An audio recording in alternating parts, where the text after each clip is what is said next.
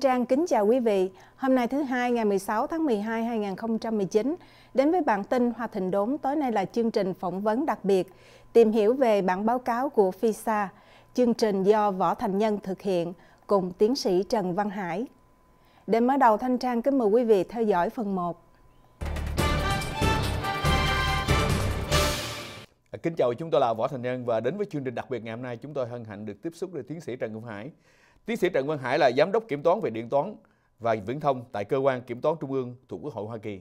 Và hôm nay là cuộc tiếp xúc của chúng tôi để nhằm tìm hiểu về một cái tài liệu mà người ta nói rằng đó là một cái bản báo cáo của FISA và tại sao nguyên nhân nào đã đưa đến một cái bản báo cáo như vậy và phía sau của nó ờ, hiện trường về chính trị Hoa Kỳ ờ, có những cái điều gì bí ẩn mà chúng ta cần nên biết. À, đó là lý do tại sao chúng tôi có cuộc tiếp xúc ngày hôm nay. Và trước hết xin được kính chào tiến sĩ Trần Quang Hải. À, xin chào quý vị khán giả chương trình Washington uh, DC và xin chào anh Võ Thành Nhân. À, khi mà chúng ta nói uh, có một cái bản báo cáo như vậy thì um, tiến sĩ Trần Văn Hải có thể cho biết rằng uh, những cái chức năng uh, quyền hạn của những cái cơ quan mà nó có được uh, chúng ta có được cái bản báo cáo như vậy. Dạ, um, chắc là quý vị và anh Võ Thành Nhân cứ nghe nói là FISA rồi là uh, application này nọ và à, chúng tôi cũng xin trình bày một cái bối cảnh về à, à, pháp lý của cái đạo luật này. Năm 1978 thì ờ, đạo luật ờ, gọi là FISA, tức là Foreign Intelligence Surveillance Act, đạo luật về ờ, đạo luật về theo dõi tình báo ngoại quốc à, được thông qua. Trong đó có quy định là à, FBI, tức là cơ quan chịu trách nhiệm điều tra tất cả những cái vấn đề về tình báo ở trong nội địa nước Mỹ. À, còn CIA thì thuộc về ngoại quốc. À, có quyền nộp đơn xin một cái tòa mà được cái đạo luật này à, tạo lập nên đặc biệt để xin một cái ông thẩm phán cho phép một cái trác để có thể là theo dõi những cái người công dân Hoa Kỳ à, mà người ta tình nghi là có thể hoạt động tình báo cho một cái nước ngoài hoặc là có những cái hành động có thể là liên quan đến an ninh quốc gia và đó là cái à, nguồn gốc mà tại sao chúng ta có cái à, cái từ FISA. à, cũng trong năm 1978 thì một đạo luật khác được thông qua là cái đạo luật về tổng thanh tra tức là à, Ờ, Inspector General Act uh, of 1978 uh, ờ, quy định rằng trong mỗi cơ, mỗi uh, cơ quan cũng như trong mỗi bộ của chính quyền liên bang Hoa Kỳ thì sẽ có một cái văn phòng gọi là văn phòng tổng thanh tra để điều tra tất cả mọi cái vấn đề liên quan đến hoạt động của bộ cũng như là cơ quan này mà có dấu hiệu là về phung phí, về gian trá và về lạm quyền mà người ta thường gọi chung là waste, fraud and abuse. Nếu một nhân viên liên bang Hoa Kỳ nếu thấy trong cái cơ quan của mình có những cái dấu hiệu nào liên quan đến ba cái vấn đề này thì có thể báo một cách uh, kín uh, cho ông uh, tổng thanh tra và văn phòng tổng thanh tra này một cách độc lập sẽ điều tra tất cả những cái vấn đề đó rồi báo cáo lại cho uh, thứ nhất là ông uh, kể như là ông uh, sếp tối cao của cái cơ quan và có thể là báo cáo cho quốc hội cũng như là cho hành pháp. À, và có thể là công bố nếu là không có dính dáng tới những cái vấn đề mà mật thì có thể công bố cho toàn thể dân chúng biết. À, ngày thứ hai vừa rồi thì là ông tổng thanh tra của bộ tư pháp tức là ông Michael Horowitz uh, Inspector General of the Justice Department uh, đã hoàn thành cái báo cáo mà ông đã tốn 2 năm để uh, tìm hiểu về cái vấn đề là trước đây có một cái cuộc bầu một cuộc điều tra về cái nghi vấn là ứng cử viên Donald Trump. Lúc đó có một số cộng sự à, đã vô tình hay cố ý hợp tác với chính quyền nước Nga để tìm cách lũng đoạn thao túng cái à, cuộc bầu cử này để cho ông Trump đắc cử. À, một cái phần bối cảnh khác tức là trong tháng 5 à, vừa rồi năm 2019 thì chúng ta thấy được rằng là ông công tố đặc biệt Robert Mueller thì đã công bố cái công báo cái báo cáo của ông mà cũng đã tốn hơn 2 năm rưỡi để điều tra về cái vấn đề là nghi vấn về à, ông Trump à, đã thông đồng với nước Nga trong cái vụ bầu cử đó và kết luận là không có cái chuyện đó. Thì bây giờ cái ông tổng thanh tra này đi vào cái chi tiết là tất cả những cái sinh hoạt điều tra cũng như là mở màn cái cuộc cuộc uh, điều tra đó xảy ra như thế nào và tất cả những cái công tác gọi là chuyên môn của FBI trong cái tiến trình điều tra này thì à, có những sai sót có những cái à, việc làm như thế nào mà dân chúng cần phải biết và có lẽ là quốc hội sẽ cần có những cái biện pháp để cải tổ cái à, à, gọi là cái đạo luật FISA này để bảo đảm cho cái quyền tự do cái à, để cho các cái công dân Hoa Kỳ không thể bị theo dõi một cách à, tùy tiện hoặc là à, phi pháp. Và ờ, thưa anh khi mà chúng ta nói có một cái IG report có nghĩa là nó phải bắt đầu từ đâu và bắt đầu từ lúc nào và nguyên do tại sao mà chúng ta có được cái report đó um, khi mà nó ra được tới cái sàn phước hội Hoa, Hoa Kỳ dạ thưa tiến sĩ? À, thì cái việc này nó dây dưa đến rất nhiều cái cái nghi vấn mà bắt đầu à, từ vào khoảng tháng 5 năm 2016 tức là khi bắt đầu à, có cái cuộc mà bầu cử là tổ chức các cái à, chiến dịch tranh cử thì à, à, thì có một số uh, thông tin cho rằng là uh, có một uh, một vài người uh, ở trong cái ủy ban bầu cử của ông Trump uh, thì đã có những cái phát biểu mà làm cho người ta nghi ngờ uh, là có sự thông đồng. Rồi sau đó lại có cái thông tin là ở bên phía bà Hillary Clinton đã bỏ tiền ra cùng với cái ủy ban lãnh đạo của đảng Dân Chủ uh, toàn quốc tức là Democratic National Committee đã bỏ tiền thuê à, một cái công ty ở Mỹ mà gọi là Fusion GPS rồi công ty này là thuê một cái người cựu tình báo của nước Anh là ông Christopher Steele để tìm hiểu và moi móc những cái thông tin mà có liên quan đến à, nước Nga cũng như là những cái tin mà gọi là à, nghi về cái nghi vấn mà thông đồng với Nga. À, thì à, sau đó là có nhiều người dính vào trong đó có một cái người mà ông tên đó là ông Carter Page. Ông Carter Page này trước đây là tốt nghiệp à, à, trường võ bị hải quân sau đó đi ờ, đi làm ờ, sĩ quan tình báo cho hải quân và sau đó về hưu ờ, hầu như là về hưu. Thì làm việc về bên ngành dầu khí. À, thì ông này trước đây cũng đã có à, hợp tác với một cái cơ quan tình báo của Hoa Kỳ và đã giúp họ à, trong việc là truy tố một số các cái vụ án. À, thì ông này lại bị dính vào đó. À, vì cái ông Christopher Steele kia đã cho một vài cái thông tin mà người ta à, nghi rằng là ông này vì ông này cũng có đi ở à, quan Nga rồi ông này cũng có là tiếp xúc với những người Nga à, cho nên người ta đặt cái nghi vấn đó. Và khi mà có cái nghi vấn đó thì à, muốn theo dõi ông này thì bắt buộc phải đến cái tòa mà gọi là FISA Court tức là cái tòa mà được lập ra bởi cái đạo luật về theo dõi tình báo nước ngoài để xin một cái trác thì mới đi à, thu thập được. Còn nếu không thì thứ nhất là vi phạm cái quyền tự do của ông kia và nếu có thu thập được những thông tin thì nếu có đưa ra tòa tòa cũng không chấp nhận cho nên đó là cái lý do mà tại sao sau một thời gian thì FBI à, phải à, lập một cái đơn và trong cái đơn đó thì phải liệt kê tất cả những cái chi tiết à, mà chúng ta sẽ đề cập mà một cách cụ thể à, để để đến xin tòa à, xin tòa cho phép là theo dõi ông này và đó là căn nguyên của tất cả những cái vấn đề mà chúng ta sẽ nói đến. Yeah. À, xin được cảm ơn uh, tiến sĩ Trần Văn Hải. À, kính thưa vị, uh, chương trình của chúng tôi đến đây xin được tạm ngưng và chúng tôi sẽ tiếp tục uh, trong phần 2.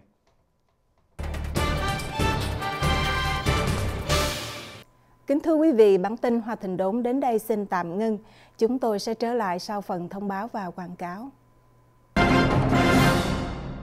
Cảm ơn quý vị vẫn giữ màn hình. Để tiếp tục, Thanh Trang kính mời quý vị theo dõi phần 2 của cuộc phỏng vấn tìm hiểu về bản báo cáo của FISA.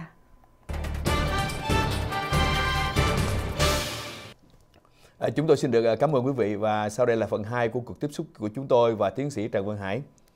À, kính thưa anh Hải, khi mà chúng ta nói phai xa cuộc có nghĩa là phải có một cái người quan tòa và dựa vào đâu thì cái tòa đó được mở ra vậy thưa anh Hải? À, cái tòa đó, đó thì là được quy định bởi cái đạo luật về à, theo dõi tình báo nước ngoài. À, cái tòa đó là một tòa đặc biệt, người ta thường thường không có tiết lộ danh tính của các à, thẩm phán, nhưng mà có tổng cộng vào khoảng 11 thẩm phán thì à, luân phiên nhau là à, là ngồi để nghe tất cả những cái đơn xin là trác tòa để theo dõi người à, về vấn đề an ninh quốc gia cũng như về phản gián à, thì cái quy định nó rất là cụ thể và người ta yêu cầu là tất cả mọi chi tiết ở trong cái đơn xin là phải có lý do chính đáng và tất cả mọi thông tin ở trong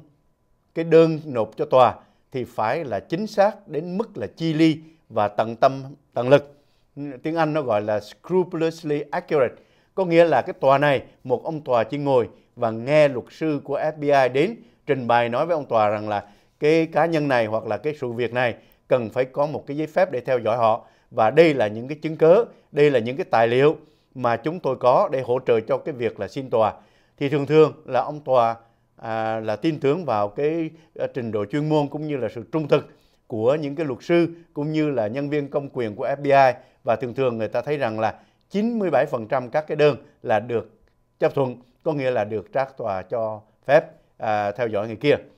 Thì cái cái đơn đầu tiên mà FBI à, xin tòa là vào khoảng tháng 10 năm 2016 và trong đó thì là dùng hầu như là tất cả thông tin của cái cái mà hồ sơ mà cái ông Christopher Steele người điệp viên về hưu của Anh đã cung cấp cho FBI thì trong đó tất cả mọi thông tin là dựa vào cái dossier tức là cái tài liệu đó. Mà cái tài liệu đó thì người ta thấy rằng có rất nhiều cái nghi vấn và người ta phải nói rằng là người ta rất là khó tin. À, FBI cũng đã là nỗ lực để tìm cách kiểm chứng tất cả những cái thông tin này.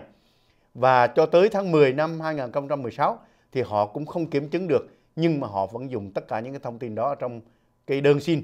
thì dĩ nhiên là ông quan tòa của Pfizer Court không biết và cho à, cái trác tòa để theo dõi ông này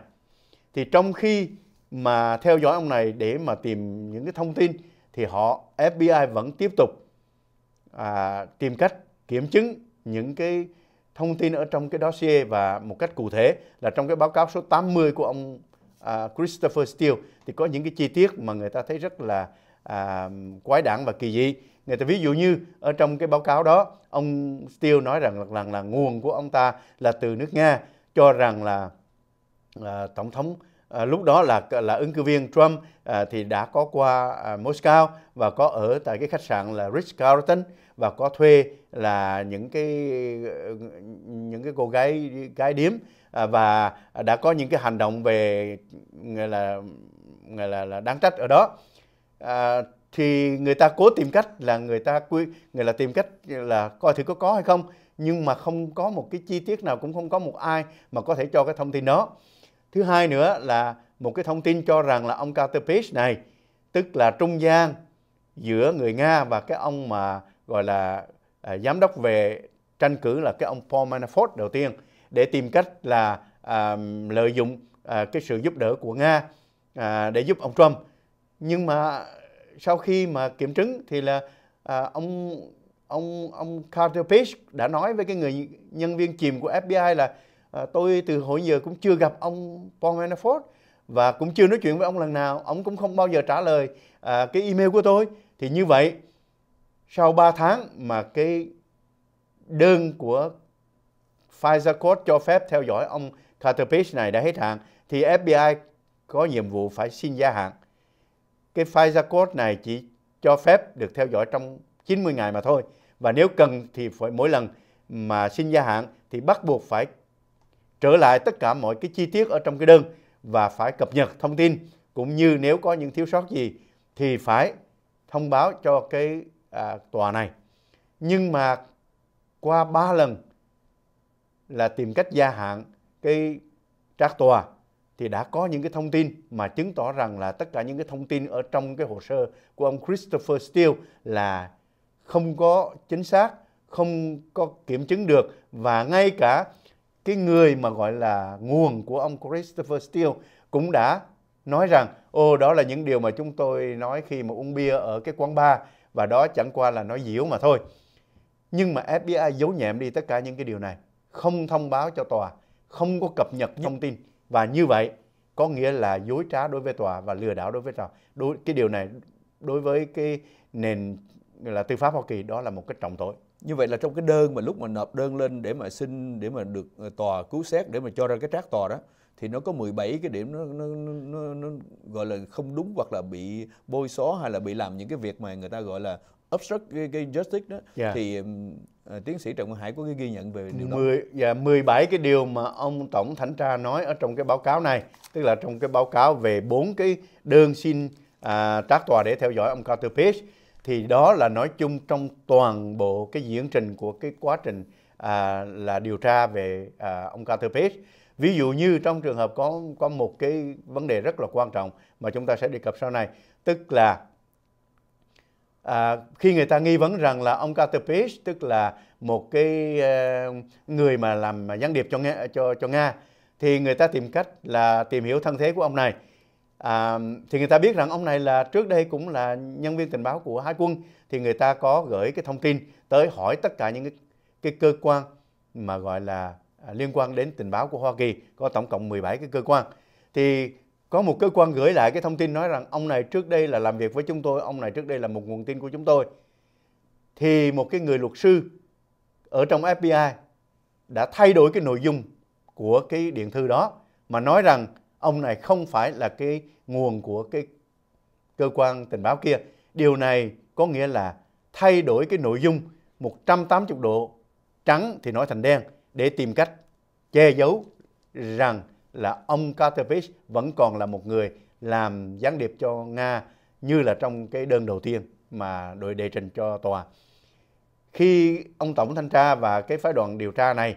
à, khám phá ra cái điều này thì đã yêu cầu là nộp chuyển qua hồ sơ qua cho à, ông à, bộ trưởng tư pháp và bên FBI và hiện nay thì người ta đương điều tra hình sự về cái ông luật sư này và à, không sớm thì muộn tôi nghĩ rằng là ông này sẽ phải à,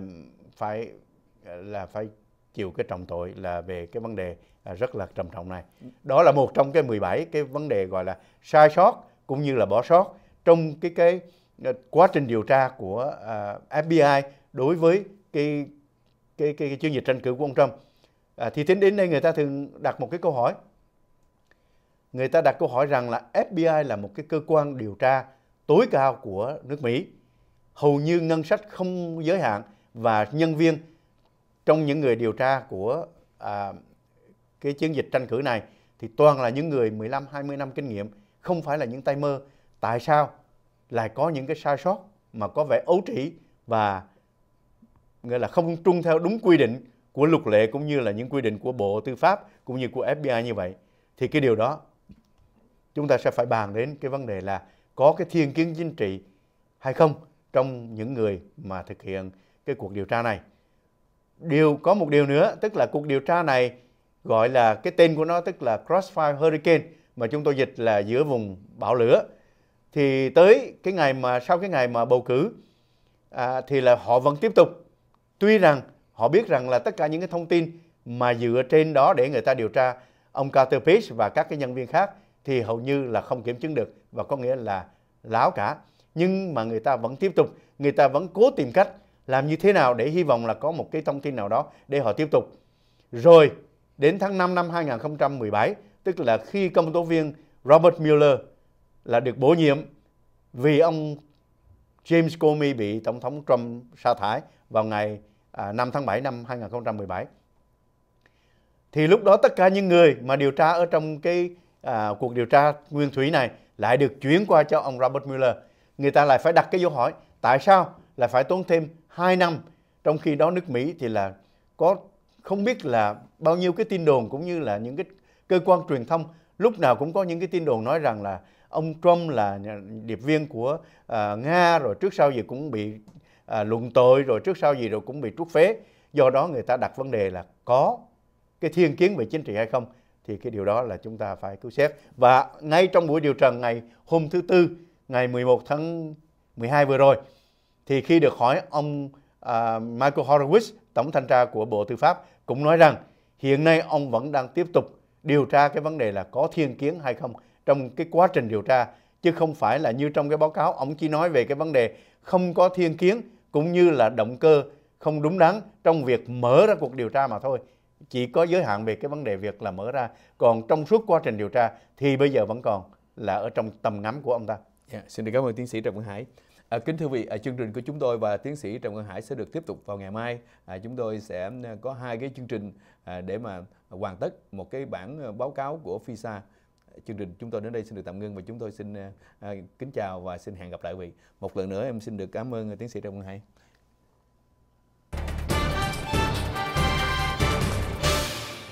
Kính thưa quý vị, bản tin Hoa Thịnh Đốn tối nay đến đây xin tạm ngưng. Thành Trang kính mời quý vị tiếp tục theo dõi bản báo cáo FISA vào tối ngày mai. Mọi liên lạc hay đóng góp ý kiến xin email về washingtondc at sbtn.tv. Thành Trang kính chào và hẹn gặp lại quý vị vào kỳ tới. Kính chúc quý vị có một buổi tối an vui và hạnh phúc bên người thân và gia đình.